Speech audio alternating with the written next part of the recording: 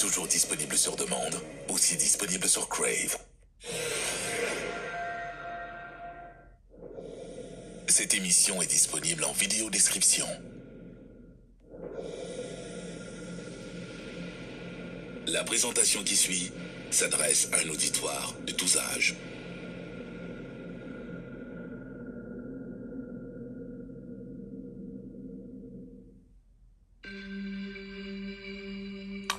France, Greek, and Belgium movie.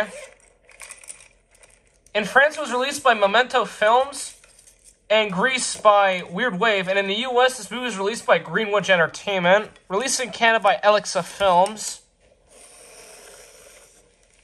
And for some reason, this got a this got a G rating, G rated viewer advisory, even though, according to IMDb, this movie contains a scene with female, full frontal female nudity, which is crazy. Je veut dire couvain.